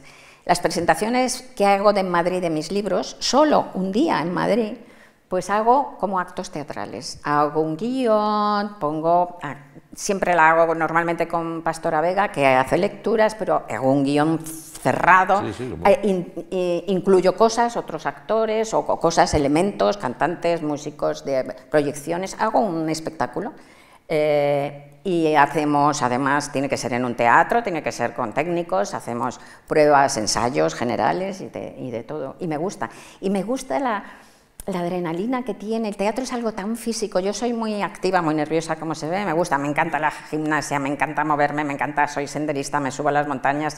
Esa cosa tan física, ¿no? Me, gusta que tiene el teatro. Esa cosa tan todo ese trabajal que me pego, por ejemplo, para hacer las presentaciones en Madrid, para nada, porque ni siquiera son buenas para la promoción. Lo bueno para la promoción es hacer entrevistas, esas cosas. Pero es que es un placer de repente que haya 300 personas y que estén la cosa teatral dramática es eso que se crea entre todos, un momento que intentas hacer un momento de belleza que está, que es un garabato en el, en el tiempo, en el aire, y que se va como una pompa de jabón y desaparece, pero ha estado, ¿no? Y eso me encanta. No, te preguntaba si te había relación, porque en el fondo una entrevista a personajes como los que tú has tenido enfrente tiene algo de representación teatral también. Sí, pero hay que intentar romper hay que intentar. Yo lo, yo lo veo más parecido, más que la representación teatral, que Por parte del a lo personaje. de, a lo, No, a lo, me lo veo más como lo del psicoanálisis, como te digo, que ahí también hay una representación de cada cual. El psicoanalista está en el psicoanalista, el paciente en paciente, pero eh, en la entrevista, sí, pues el entrevistado intenta ser lo más mm, inteligente posible, el entrevistador lo más eh, perspicaz y, y, sí, siempre eh, nuestras relaciones interperso- interpersonales son también teatrales, ¿no? De alguna manera tenemos muchos personajes, de hecho, además, ¿no? Son poliédricos. Eh, eres distinto con tus amigos, con, tus con tu amante o con tus hijos o con, en fin. Pero, pero no sé, hay que romper en cualquier caso, en la entrevista habría que romper el teatro, hay que romper el personaje, de hecho. Eh, has hecho alusión a la ansiedad, que eres una persona nerviosa. ¿Has aprendido a convivir con la ansiedad, Rosa? Malamente, la verdad. A veces tengo, tengo mis días. O sea, hay días que me parece que he aprendido mucho en la vida y hay días que me parece que no he aprendido nada. Entonces, depende. Digamos que, bueno, quedémonos en la mitad. A lo mejor he aprendido un poco, pero, pero mm, lo que sí que creo que llevo mejor es el, es el miedo a la muerte, que siempre ha sido una cosa como muy aterradora para mí, tal, creo que lo llevo mejor. Y creo que mis libros a lo mejor quizás son todos, un todos ellos son un intento de perder el miedo a la muerte. Hay una cosa, una de las cosas más bonitas que me ha dicho un lector, eh, me lo dijeron con Historia del Rey Transparente y entonces fue en un chat en, El Mundo. Entonces uno de los que escribió era un hombre que me decía, me ha gustado mucho la novela, pam, pam, pam". pero sobre todo lo que, más me ha, lo que más me ha gustado de la novela es que creo que después de leerla he perdido un poco las- el miedo a morir. Y me pareció precioso, porque además yo lo, lo escribí para eso, ¿no? para perderlo yo, no para que lo perdieran los demás. Entonces creo que algo, algo, algo se ha, se ha construido ahí, pero vamos, la ansiedad, soy María Angustias. En... Fíjate que me voy a permitir contar una anécdota o un recuerdo, eh, una entrevista que hicimos en la radio en el año, creo que sería el año 81 más o menos. Eh, en, los, en los medios de comunicación y en los periódicos se cometen a veces eh, errores reiterados y es que a una persona que destaca mucho por una actividad, porque es buena articulista, buena entrevistadora, como en el caso de Rosa, que escribe bien, que tiene éxito, se la eleva y se le nombra responsable de un equipo. A ti te hacen redactora jefa del País Semanal. Ya, Y yo recuerdo una entrevista que me decías, lo estoy pasando fatal, porque Sí. por- no duermo por las noches, Sí. me- me- de repente me despierto, me desvelo, porque esto no es lo mío. Sí, O sea que- pero mira, lo que pasó con eso, que es interesante, esto fue en el 80. Lo que pasó con esto es que de repente me lo propuso Cebrián, que por cierto, en eso eh, era particularmente poco sexista dentro del país de entonces, ¿no? Y proponía a mujeres y tal, eh, que fuera redactora jefa del suplemento dominical. Eh, casi todas las mujeres que les proponía cargos se negaban, eso en primer lugar. Eh, las mujeres siempre tenemos, con razón además, porque todo nos dice que somos, que somos impostoras y que ese no es nuestro lugar y tal, hay que, hay que luchar mucho contra, contra una especie de sensación de inadecuación. Ya sabes que el síndrome del impostor lo padece sobre todo las mujeres, en, en una diferencia enorme con respecto a los hombres, de 7 a 10 creo que es. ¿no? Eh, y entonces eh, me lo propuso. Y, y yo jamás lo hubiera aceptado en una situación normal, pero resulta que llevaba, estaba con la angustia de mi repentino furibundo éxito eh, en el país. Eh, de repente, como os digo antes, ya de entrar en el país era conocida en las redacciones, pero en las redacciones no era esa cosa así tremenda. El país nos lanzó a un éxito de verdad como de, como de la canción del verano a un montón de gente que estábamos trabajando ahí muy jóvenes. Y de repente todo el mundo hablaba de ti, de lo que tenías, incluso tus amigos, de lo que tenías que hacer para mantenerte, de lo que no tenías que hacer. De, de repente primero recibes una ola, y yo tenía 20, eso, 26, 27, 28 años, eh, una ola de amor tremendo. Una ola de amor tremendo, todo el mundo ama a Rosa Montero, pero es que no sabes a qué Rosa Montero am- aman, porque no eres tú. Cada uno tiene una Rosa Montero que no eres tú. Entonces te entra una angustia horrible porque naturalmente tú quieres que te sigan amando, pero no sabes qué tienes que hacer, porque como no sabes cuáles son las expectativas de los otros, puedes tremendo. Y luego viene una ola de odio, igual de gratuito que la del amor, porque todavía se lleva peor, ¿no? Entonces yo estaba angustiadísima, no en la escritura literaria, que se iba por otro camino, pero en la periodística, es que de repente estaba angustiadísima. Quería quitarme verdaderamente de en medio y acepté por dos razones eso. Acepté, por, primero, porque así iba a dejar de firmar y yo quería que la gente se olvidara de mí. Afortunadamente no se olvidaron, porque luego ya cuando lo coloque todo es mucho mejor que no se olviden. Es mucho, pero mucho mejor. Pero quería ver de verdad, sinceramente. Necesitabas un cierto anonimato en ese momento. Sí, quería que la gente se olvidara de mí. Y entonces eso me permitía no firmar, desaparecer como periodista. Y luego por la otra razón, porque las mujeres no aceptaban. Y yo dije, es que hay que aceptar. Entonces hay que, hay que aceptar, hay que dar un paso adelante, aunque no nos guste, aunque nos muramos de miedo. Es que es que, entonces, eh, acepté con un tiempo, dije, me voy a, voy a estar un año y medio como mucho y tal. Es lo que estuviste. Es lo que estuve, sí. y lo pasé fatal. Lo pasé fatal y lo hice bastante mal, porque no es lo mío. Sí, aparte de pasarlo fatal. Sí. Que es decidir los temas, eh, dirigir el equipo. Sí, bueno, dirigir el equipo, y, enfrentarte con la gente, decir, yo qué sé, mandar. Se me da mal eso. Y, y es muy noble y muy digno. Hay gente maravillosa que, manda maravillosamente y menos mal. Yo tenía una amiga a la que adoro que se murió hace dos años, que todavía le echo de menos, que es Malena Aznárez, que ah, su último trabajo fue presidenta de, la, de Reporteros Sin Fronteras, pero que ha sido bueno, directora de medios, de montones, ha mandado mucho y lo hacía de maravilla, ¿no? Entonces, fantástico. Pero yo no sirvo para eso, ¿no? Lo pasé mal, mal. Bueno, eh, el éxito en el país, las entrevistas, eh, os, convierte a algunos eh, compañeros, algunos periodistas casi, casi en estrellas de rock en ese momento, como tú decías. Y bueno, llega tu primer libro, que es Crónica del Desamor. Es decir, yo te decía antes, llegas a la literatura desde el periodismo, no a la escritura digamos, personal, que desde los cinco años tú ya venías escribiendo cuentos, pero tienes la primera oferta literaria por, por periodismo. Por porque además te encargan, creo, un libro de entrevistas. Exacto, exacto. Sí, la, cuestión es que yo hubiera publicado una novela seguro. Lo que pasa es que no, eh, siempre fui muy, muy, muy ambiciosa literariamente y tenía muy claro que lo que quería en literatura y a lo que quería llegar y estaba muy consciente de la distancia que, que, que que me quedaba por cubrir. ¿no? Entonces, hubiera publicado seguro una novela o un libro de cuentos, pero probablemente diez años más tarde. ¿eh? Probablemente diez años más tarde. Entonces, lo que pasó es que una editorial que entonces era pequeñísima, Debate, hiper pequeña, tenía solamente una, una colección de ensayo y además era, bueno, eran dos colecciones, una de ensayo general y otra de ensayo feminista. Y entonces, como me había hecho muy famosa como entrevistadora y tal, pues contactó conmigo y me dijeron que querían eh, que yo escribiera un libro de entrevistas feministas con mujeres para hablar de las mujeres en la transición. Esto debió ser en el año 70, finales del 77 o así. 78, primero del 78. Bueno, entonces yo dije que sí, era colaboradora y los colaboradores dicen que sí a todo, bueno, cogen, claro. Y me dieron 25.000 pesetas, que eran poquísimo, me las gasté. Pasaban los meses y me daba un aburrimiento, me sentía un aburrimiento absoluto de tener que hacer más entrevistas, aparte del montón de entrevistas que estaba haciendo en el país.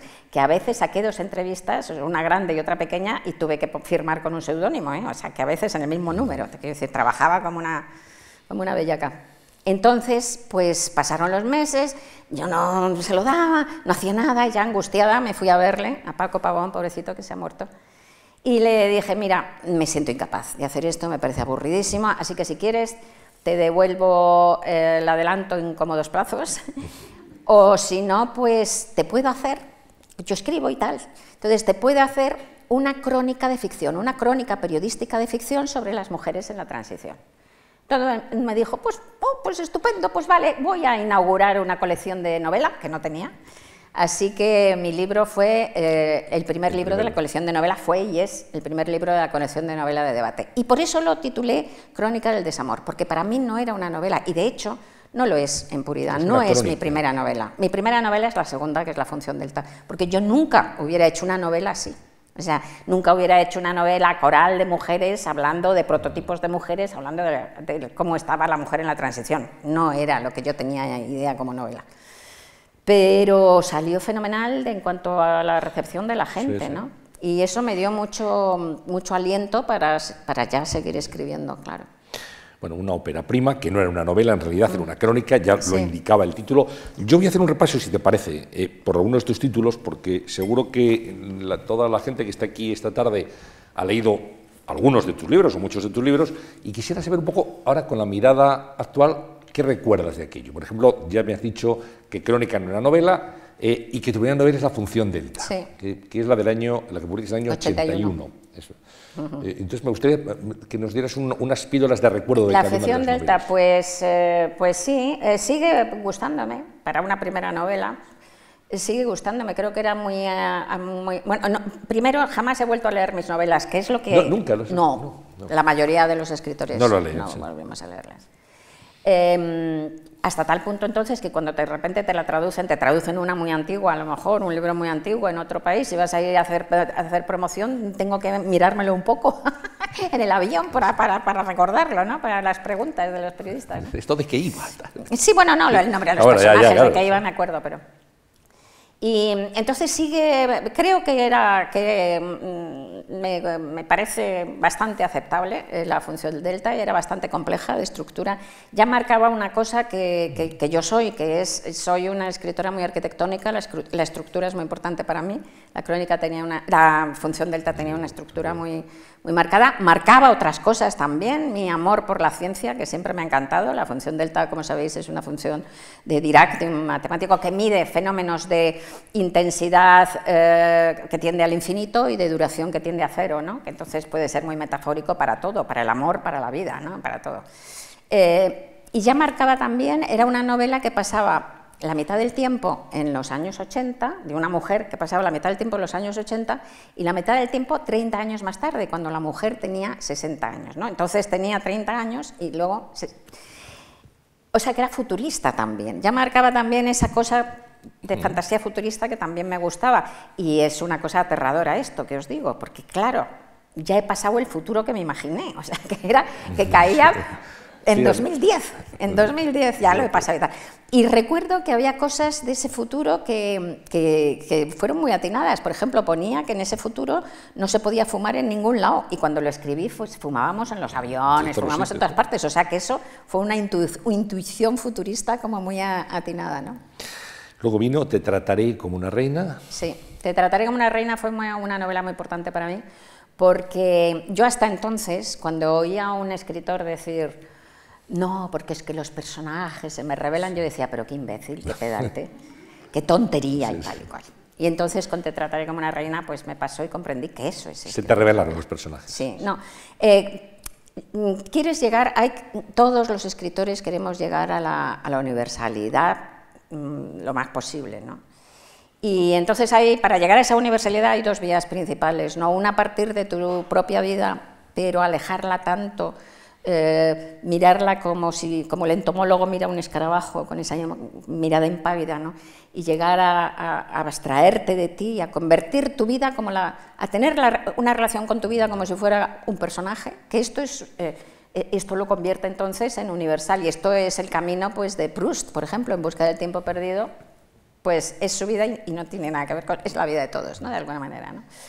Y luego todo lo contrario, irse a, personajes que no tienen nada que ver contigo, que incluso son opuestos a ti, y a fuerza de luchar y ahondar, ahondar en esos personajes, llegar a ese, a ese, mm, a ese estrato común, básico, que nos une a todos, ¿no? porque muy dentro de cada uno de nosotros estamos todos, solo hace falta bajar lo suficientemente abajo. ¿no? Y esa sería la vía, la vía de Flaubert con Madame Bovary, por ejemplo, que como sabes estuvo pues, cinco años escribiendo mm, y, refunfuñando todo el rato, le mandaba cartas a su amante diciendo, ah, no entiendo a estos burgueses de mierda, decía. La palabra burgués no tenía la misma acepción, pero... Eh, y al final, pues dijo eso que no dijo, es apócrifo, pero que lo hubiera podido decir Madame Bovary moi, es verdad. Eh, entonces, yo intenté eso, alejarme en esa novela. Entonces puse unos personajes que no tenían nada que ver conmigo, que eran casi semianalfabetos, eh, cultivé el feísmo, sucede en un verano terrorífico, tórrido, en un sitio pues que huele a basuras. Vamos, que la identificación primera es muy difícil, que te echa para atrás, ¿no? Y sin embargo, pues llegué a sentirlos y, di ese paso. Y efectivamente, bueno, lo que me sucedió además es una cosa increíble. Hay uno de los personajes que se llama El Poco, que es un antiguo legionario, que entonces tiene una relación con una chica joven y tal. Y, y hay un momento en donde la chica viene el legionario, la chica cree que, que el legionario, porque tiene una relación, eh, que, el que el poco la va a besar y lo que hace es pegarle una paliza casi de muerte. ¿no? Y escribí esa, esa escena una vez, la escribí dos veces, la escribí tres veces, porque antes todavía reescribía las novelas muchas más, ahora las reescribo dos veces, que eh, es más lenta la construcción, pero se reescribe, la reescribo solo dos veces. Entonces, eh, la escribí, no sé, cuatro o cinco veces.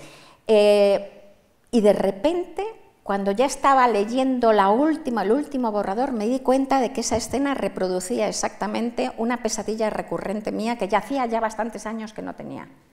Y es una pesadilla en la que, pero que la había tenido durante 10 años o 15 de mi vida muchas veces. Cuando escribí la novela ya hacía mucho que no la tenía.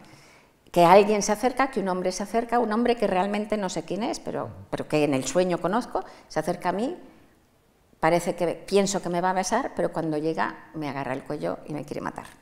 Y era exactamente la misma. Y entonces cuando vi eso es como, no sé si habéis buceado alguna vez.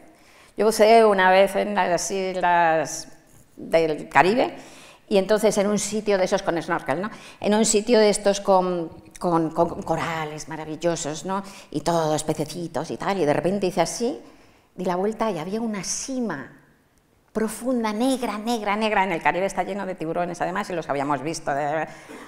Y estás de repente que era como una sensación de que te caías, ¿no? A esa cima y tal. Bueno, me entró tal terror que empecé a dar pataletas, me quemé todas las rodillas, las manos en el coral y tal. Bueno, pues sentí lo mismo es como esa sensación de que se abre una cima y dice, ¿qué estoy haciendo? ¿De qué estoy escribiendo? Ya no sé de qué escribo. Eh, hablabas ahora de que eres una escritora arquitectónica, que al final te preocupa mucho la estructura, que reescribes. ¿Cómo, cómo es la carpintería de, tu creación literaria, Rosa? Bueno, cuando, hago, doy, clases, cuando doy clases de escritura creativa, pues mm, pues siempre digo que una de las cosas que tienen que, aprender los que quieren escribir es a encontrar su propio método, porque no hay dos métodos, dos métodos iguales. ¿no? Hay, una división primero clásica, que no es férrea, naturalmente, que divide a los escritores entre escritores de, de la brújula y escritores del mapa. El escritor de brújula pues, es aquel que cuando empieza a escribir no sabe a dónde va y que bueno, va desarrollando la novela. Mm, Javier Marías dice que es así, que cuando se sienta no sabe... Yo creo que él se lo cree, pero yo no sé si me lo creo. Pero él lo dice, por lo menos. Él lo dice, por lo menos. Eh, y luego los de mapas son los que antes de sentarse tienen que tener toda la novela, articulada y tal. Yo soy un mixto, ¿no? Entonces, primero, antes de, durante tardo, bueno, tradicionalmente, ahora estoy intentando acortar un poco los tiempos, porque como soy muy mayor y me queda poco, y quiero, tengo muchos libros por delante, quiero cortar un poco. Pero tradicionalmente he tardado como tres años ¿no? en cada novela. Entonces, desde ese tiempo, como la mitad, un año, año y medio, pues me lo paso desarrollando la novela en la cabeza y en cuadernitos que llevo eh, a mano, que me encanta además escribir siempre con pluma y en papel satinado, no rayado, y me encanta el hecho de escribir con pluma en papel satinado, no rayado. Bueno, entonces pues eh, ahí va desarrollándose la novela y ya al final de esa etapa, como digo que soy muy arquitectónica, empiezo a hacer organigramas de la novela, empiezo a hacer grandes mapas de los personajes, de los ingredientes y luego empiezo a hacer como si fuera un un, un puzzle, como si fuera un rompecabezas, empiezo a hacer combinaciones de capítulos, es decir, a lo mejor hago 10, 12 combinaciones de capítulos distintos. Cómo vas metiendo los ingredientes, vas cambiando. es un, puzzle, verdaderamente, sí. Y luego cuando ya sé que va a tener, paso todas las notas a un cuaderno mayor de cada novela, y cuando ya sé que va a tener 47 capítulos y lo que va a haber en cada capítulo, y hay algunos pequeños párrafos ya escritos y tal, entonces me siento al ordenador, me paso otro año y medio escribiendo y en ese año y medio, en vez de 47 capítulos, salen 56, aparece un personaje que no existía, de todo, cambia de todo también, que es lo maravilloso, porque es, un, es una criatura viva hasta el final, ¿no? y es mucho más divertido. Y ese es mi método, pero ya digo que cada cual tiene que encontrar el suyo. ¿Todo el día? Pues todo lo que puedo. De hecho, en la etapa esta de la escritura ya, de ordenador, deberías escribir todos los días. Eh, la novela que estoy escribiendo ahora, ha estado a punto de morirse, porque las novelas se mueren. A mí se me murió una novela después de Te trata como una reina, con ciento y pico páginas, y, y me bloqueé durante tres años. O sea que, entonces las novelas se mueren. Y eh, si no las alimentas, ¿no? Si no tienen, son como criaturas que tienen que crecer en su momento, ¿no? Y como he estado, llevo dos años locos, quiero cambiar de vida, quiero cambiar de vida. Dos años locos de viajar y de actos públicos y yo qué sé qué, pues no he podido empezar la novela, la parte de la escritura, cuando ya la tenía madura. Esta va a tardar más que, que lo que quería. Y, y, ha estado a punto de morirse la novela. He estado a punto de tirarla y de pasar directamente al siguiente, a lo de creación y locura. Estás trabajando en una y pensando otra ya. Sí, Estoy tomando notas para creación y locura, pero estoy trabajando. Y he vuelto, me encerré este verano, y sí he vuelto a retomar la novela y bien. creación y locura, que es un ensayo, es bueno, un ensayo tipo Rosa Montero. Sí, un ensayo con ficción y tal, sí. un ensayo raro. Es el siguiente, pero no, estoy hablando, digo, de la, la novela. actual. La novela, la novela actual, ahora sí va, va, va ahora va. Estoy contenta además de cómo... ¿Esto del cambio de vida lo dices de verdad? bueno, llevo como 20 años diciéndolo, pero... Por eso, no, pues ya si esto ahora es como... el, lunes empiezo. ¿eh? Bueno, no, como decía Mark Twain, ¿no? Es facilísimo dejar de fumar, yo dejo todos los días. Pues eso, sí, lo mismo. Eh, pues eh, no, pero de verdad que creo que quiero. Quiero, quiero de verdad. Y ahora estoy diciendo que no a muchísimas cosas. Lo malo es que además tienes una agenda que es a un año vista. Yo tengo en 2020 ya un montón de cosas comprometidas que las voy a hacer. Pero claro, lo malo digo porque te proponen algo y te dicen para noviembre del año que viene y dices, ah, bueno, qué bien va así. Pero luego llega. pero luego llega, y además... Llega noviembre. Sí, y noviembre además se te ha llenado, no sabes cómo llega noviembre y todos los días tienes algo. Todos los días tienes algo. No puede ser. No puede ser. Decías antes que te gustaba mucho la ciencia, es verdad, se nota en, tu trayectoria literaria, y, también la ciencia ficción, porque quería hablar de, Bruna. Tengo una historia maravillosa. Eh, es increíble esto. ¿eh? ¿eh? es increíble cómo se construye el imaginario de las personas. Eh, muy curioso. estuve buscando el cuento de las ratitas para llevarlo a una exposición en la, en la Feria del Libro de Lima del año pasado y no lo encontré. Pero encontré otro cuento que, me queda solo una cuartilla, por una cara y por la otra, también con dibujitos, que se titula, era más largo, pero me queda solo una, una cuartilla, que se titula José Antonio y Merceditas en Los Marcianos. Entonces, es un cuento de una pareja de hermanos, yo debí escribirlo con, con ocho años, porque son una pareja de hermanos que la niña tiene ocho años, o sea que blanco y en botella, ¿no? Eh, que van por un campo, de repente se caen por un agujero y entonces empiezan como en un tobogán, bajan y bajan y bajan y bajan y llegan, ¡pum!, a un mundo muy raro, muy raro, un paisaje muy raro, y empiezan a caminar por ese paisaje y llegan a un cartel, dan la vuelta y pone Marte. Y ahí se acaba la cortilla. Qué pena, cuando empezaba a lo mejor, ¿no? Que no sé, no me acuerdo. ¿Cómo continuaría? Pero imaginaos que con ocho años yo escribía un cuento de ciencia ficción. ¿Por qué? Es una buena pregunta. Pues tengo respuestas, tengo respuestas para todo. es que me lo pienso, me lo pienso. Tengo alguna respuesta. Primero porque yo fui, estuve enferma ¿no? con tuberculosis, como todo el mundo sabe, porque está escrito en todas partes. De los 5 a los 9 años no fui al colegio. Entonces, pues leía, leía y leía en casa. Y tengo un tío que todavía vive, hermano de mi madre, que también vive, eh, que es pintor, pintor, ha sido catedrático de pintura y es pintor. Y tenía una colección maravillosa de cómics, de cómics clásicos maravillosos que me traía para leer. Y entonces me trajo para leer Flash Gordon, que es un cómic excepcional. Entonces yo de pequeñita le ayudé a Flash Gordon, que era maravilloso, ya me introdujo en la ciencia ficción. Pero además hay otro recuerdo que todavía es más importante. Uno de los primeros recuerdos de mi infancia, yo tenía, esto tuvo que ser antes de que me enfermara, pero cinco años antes de enfermar, es una noche muy fría de esa, frialdad de Madrid, muy negra, en Reina Victoria, y yo de pequeñita en la calle, que ya estar de pequeña, con cinco años o menos, en la calle, de noche ya es raro, o sea que lo recuerdo, y colgada de las manos de mi, madre, de mi padre y de mi madre, y mirando al cielo, parados en Reina Victoria, mitad de la noche, mitad del frío, mirando al cielo. Y toda la calle de Reina Victoria llena de gente parada mirando al cielo.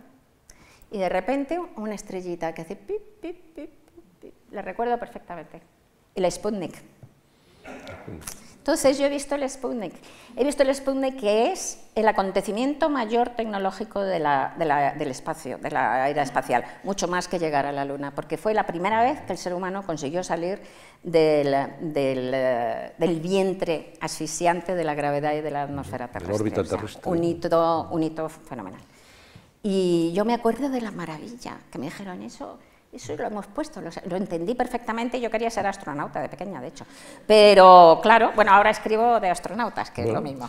No, te iba a preguntar eso por Bruna, Bruna Husky, esa, Está en el espacio, esa replicante tecnohumana, que es un personaje, ya tiene tres, tres, libros. Tres novelas. y cuando termine el ensayo, si no me he muerto, haré otra novela de Bruna. O sea que tendrá otra, por lo menos, porque en esta, en la última Los tiempos del odio, la dejo en un lugar tan peculiar sí tan peculiar que estoy muerta de curiosidad por saber qué le pasa y si no escribes la novela no lo puedes saber, ¿verdad?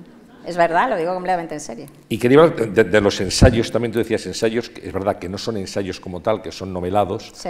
Hay un libro que seguramente todos hemos leído, nos ha eh, tocado muy de cerca, que es La ridícula idea de no mm. volver a verte. Es un, libro, en fin, muy, muy personal, muy particular y de estos que cuando lo lees no se te olvida, ¿no? te deja, Muchas te deja huella. Sí, la ridícula nació de una manera muy curiosa y muy rara, lo cuento en la propia ridícula. Yo estaba escribiendo otra novela, una novela de la selva, y de repente me bloqueé. Llevaba ya tres capítulos, me gustan, me gusta la novela, me gustan los tres capítulos. El primer capítulo de esa novela es de lo mejor que he escrito, creo.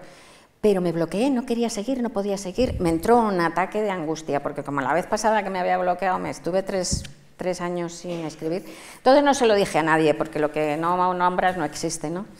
A ver si se me pasaba eso, la pájara esa, y volvía a escribir y tal. Y a la semana, de repente, una de mis editoras maravillosa, Elena Ramírez de Seis Barral, que es una genia total, pues por casualidades de estas de la vida me manda un diario de Marie Curie, que Marie Curie escribió, un mini diario de 24 páginas nada más, que Marie Curie escribió durante el año siguiente a la muerte de Pierre Curie. Pierre Curie salió un día de casa, le atropelló un coche, un coche de caballos, y lo mató en el acto. Entonces, en el año siguiente a esa muerte, Marie Curie escribió este diario que es un aullido de dolor animal, increíble, increíble. Yo sabía bastante de Marie Curie, creí que conocía mucho de Marie Curie, de hecho, luego me he dado cuenta de que no conocía más que la Marie Curie oficial, pero al leer ese diario me di cuenta que en efecto me quedaba todo el iceberg de Marie Curie por descubrir, porque ella es tan fría en la, versión oficial, tan templada, y ahí era como un animal loco, ¿no? Y tremendo y tal. Entonces, pues mi editora quería que le, que le pusiera un prólogo para una colección que tiene de libros mínimos pequeñitos. Y, y decía, con esa intuición increíble, dice, o a lo mejor te da pie para algo más. Y cuando leí el diario, ¡pa! Estalló el libro de la ridícula en la cabeza y me di cuenta, yo llevaba ya por, por, edad, en la vida vamos llegando a mesetas, ¿verdad? Y en esas mesetas nos paramos, miramos alrededor y nos hacemos preguntas esenciales sobre qué he hecho hasta ahora en mi vida, estoy haciéndolo bien, puedo mejorar, por qué hago esto, qué es lo que quiero, qué es lo que deseo. Yo estaba en una de esas mesetas, primero por edad, porque tenía cincuenta y tantos años, ¿sí? cincuenta y tantos años, efectivamente, y después porque ah, se había muerto mi, mi pareja hacía dos años, ¿no? Eh, Pablo Lizcano. Y entonces pues llevaba esos dos años con una, un regurgitar ¿no? de, de, mi vida y de esto y tal. Y ahí me di cuenta que podía con Marie Curie hacer una especie como de diálogo y comparar todas esas preguntas esenciales con, con, con ella y, y, ver cómo ella las había solucionado o no solucionado. ¿no? Y entonces hacer como una especie de reflexionados. O una, y así salió, salió el libro. ¿no? Y con ese libro me ha pasado una cosa muy increíble. Es el libro que más respuestas de lectores he tenido. normalmente ahora, sobre todo con las nuevas tecnologías, te escriben y te comentan mucho, ¿no? o sea, con las redes y tal. Pero este es que me, escribieron, me han escrito y me escriben muchísimo. Y luego, la inmensa mayoría de esas cartas son cartas en las que me cuentan una muerte. Esto tampoco es raro, me cuentan una muerte que han tenido ellos. Lo raro y lo alucinante es que esas cartas no son tristes, son cartas hermosas, felices, que celebran un momento bello. Por ejemplo, te dicen, preciosísimas cartas. Pues eh, una tarde estuve con mi marido, con mi mujer, con mi hijo, tal, que, que, estaba ya muy enfermo, y estuvimos hablando de cuando fuimos a no sé dónde y tal, y fue la tarde más bonita de mi vida, por ejemplo. Bueno, unas cartas preciosas. Entonces me di cuenta de que la ridícula, que yo no había, yo no aspiraba a hacer eso, salió, las cosas salen, los libros salen así. Em, había dado una, una plataforma a la gente para que pudiera la gente rescatar la belleza que hay en el horror, porque en todo horror hay belleza y en toda belleza hay horror. ¿no? Y lo que pasa es que vivimos en un mundo tan compartimentado que si hay el duelo es solo duelo y no se puede... Entonces había momentos de belleza que habían quedado sepultados por el dolor, que no habían podido ser ni nombrados, que no habían podido ser sacados al exterior y que este libro les permitió hacer eso.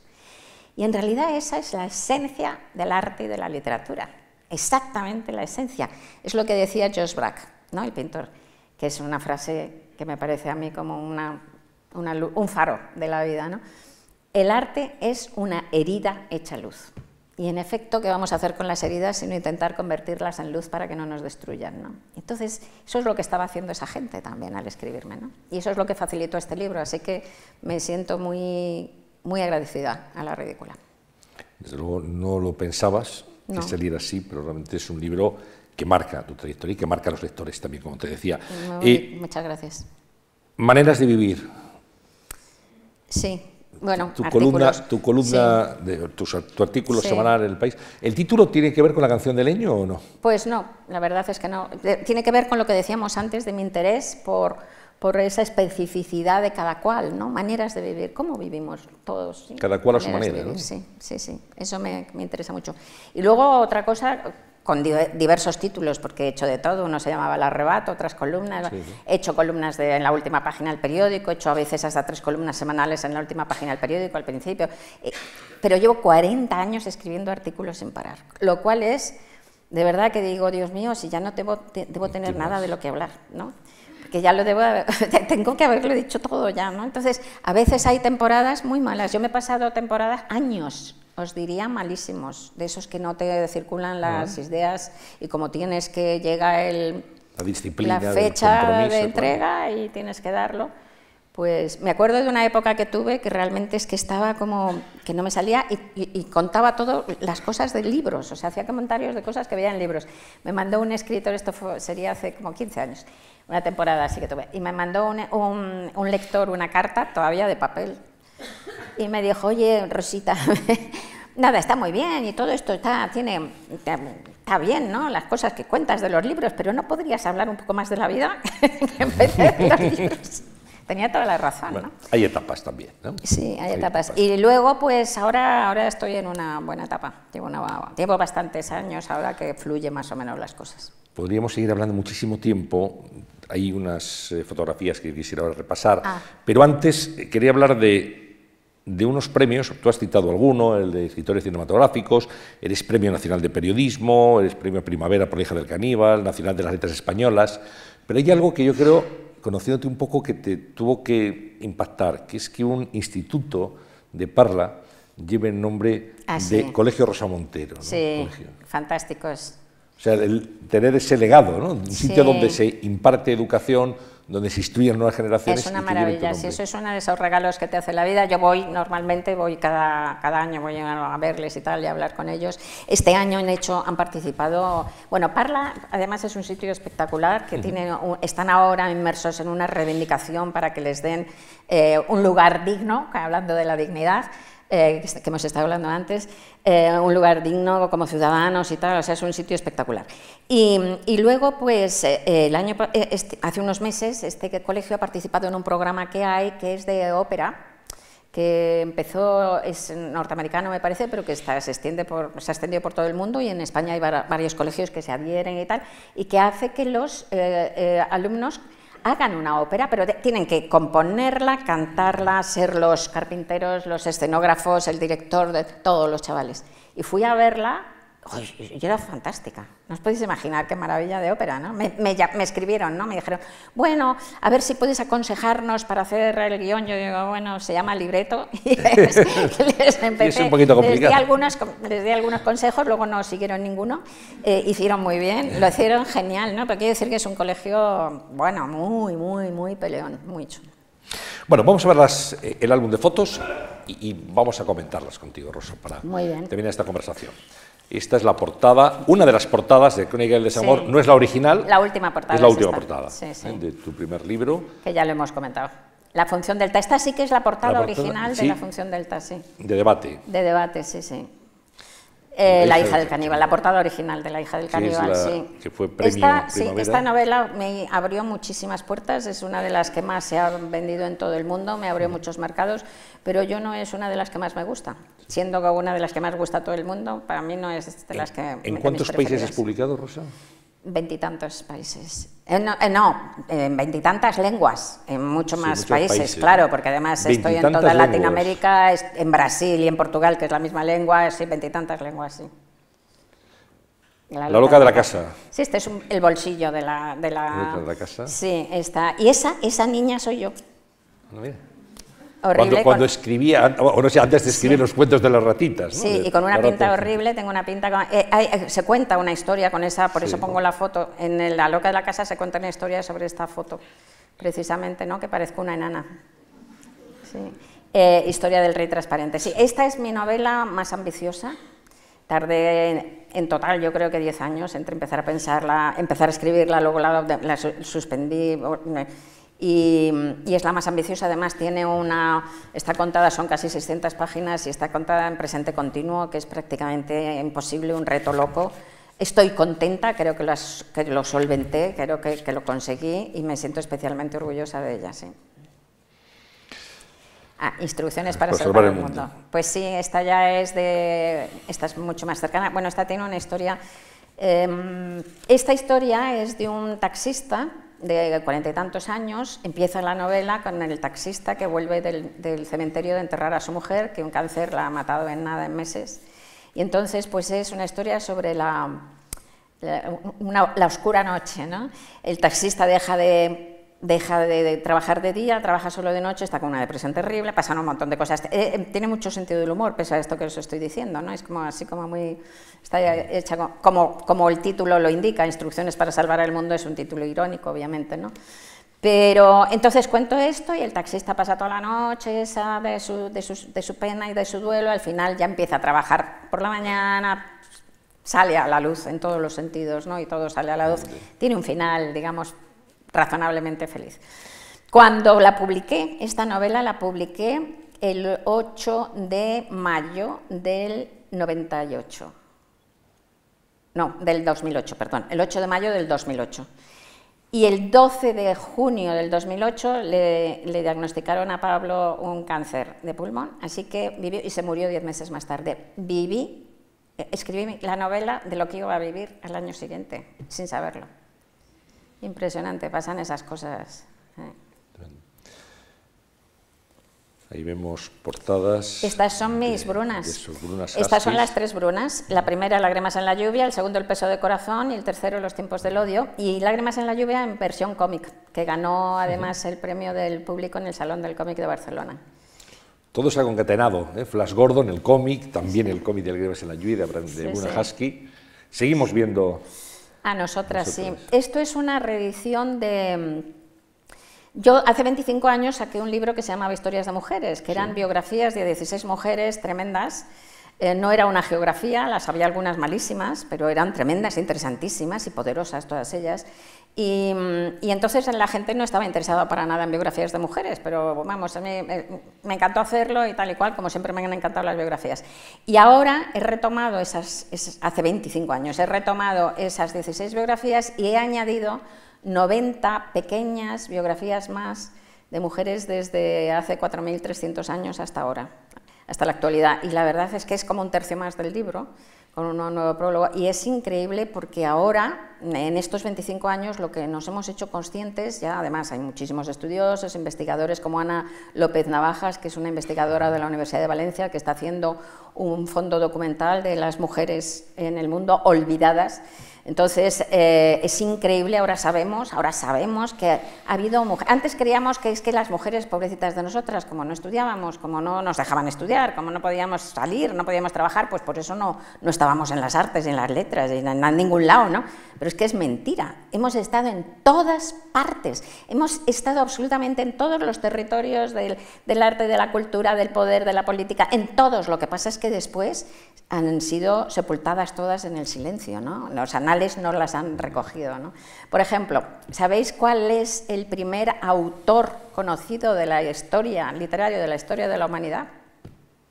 Bueno, se dice que el primer texto es el Gilgamesh, ¿no? Pero que es anónimo, pero el primer autor es anterior, un poco anterior, es una princesa acadia, que es Eneduana, que escribió hace 4.300 años un, largo poema que se llama Exaltación a Inanna. Inanna es una gran diosa madre de la época.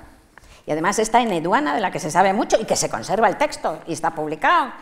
Pues eh, esta mujer, las primeras anotaciones musicales son de ella y las primeras anotaciones astronómicas son de ella. Así que esta Eneduana, princesa Acadia, pues es la primera, está, eh, está en el principio de la literatura, en el principio de la música, en el principio de la astronomía y, ¿verdad? Pues está emergiendo ahora, no la conocía nadie. ¿no? Y así todo.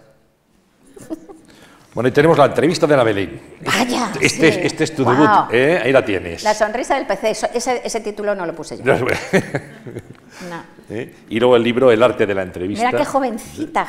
Está Ana Belén, claro, sí, igual que yo entonces. Año 77. Año 77, fíjate, pues tenía Ana Belén, tenemos la misma edad, 26 años. Tu primera colaboración, esa entrevista que te encargaron de un día para otro. De un día para otro, pues, eh, y el libro del arte de la entrevista. Sí. Y aquí, ah, esto es de una, de una película. De una película, sí, en septiembre de Jaime Armiñán. Sí, que salí, fíjate también qué pinta tengo, ¿no? bueno. De pequeñita, de pequeñita, claro, sí, sí. Pero ella tenía una edad. Una niña modosita con corbata. Sí, sí, sí, con el pelo frito. Esto es de la presentación esta que os digo que es súper teatral, de la última que he hecho de los tiempos del odio con Pastora y con eh, Salomé Jiménez, la, actriz que mirad qué pedazo de bruna tan tremenda es. Fantástica. Parece Blade Runner, ¿eh? sí, maravillosa. Y esto es de la obra de teatro que han hecho eh, Aran Dramática, que es un grupo de teatro eh, extremeño, han hecho un monólogo de la ridícula idea de no volver a verte y, está muy bien, están poniéndolo, estuvieron aquí, ahora en septiembre vuelven al, al Fígaro.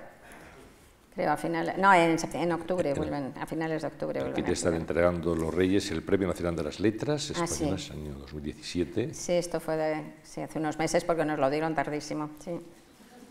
sí, sí, tardaron como dos años en darlo. Bueno, lo importante es que te lo dieron. Sí, me lo ¿eh? dieron. me lo dieron Después al final se concede y luego se da. Sí. Bien, y, llegamos al final. Llevamos hora y media, ¿eh? sin, parar de, conversar. A tu lado pasa el tiempo muy deprisa. Igual te digo, Rosa, y podíamos seguir aquí, porque estos señores tendrán que marcharse ya, que si no, pues aquí, nos tenían hasta altas horas de la madrugada.